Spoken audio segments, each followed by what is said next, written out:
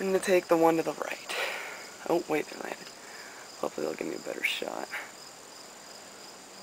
And no. Actually, I'll take the, oh, I'm taking one to the far right. He's standing all the way up.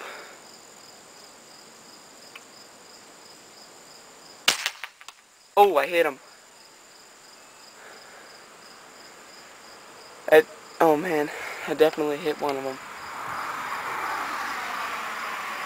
Oh yeah. There's only three flying now. He won't be coming back. Now there's only three. I must have got a long shot. He's definitely down now.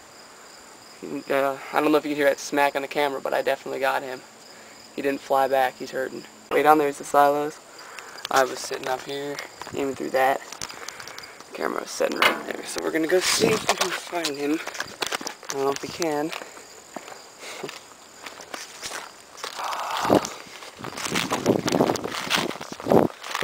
Walk down there. Fix this strap Go. Um. They get in a silo, they can ruin it. They eat the cow's food. So I am trying to help my grandparents out by shooting these pigeons.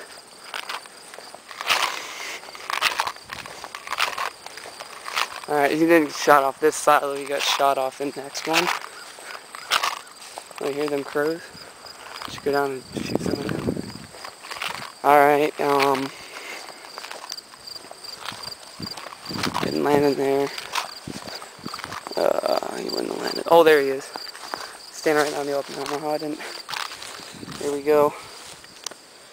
Oh yeah, definitely a long shot right there.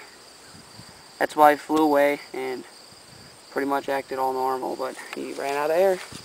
Up in that lightning rod is a bird I absolutely hate the most, the European starling. Oh. Pardon me.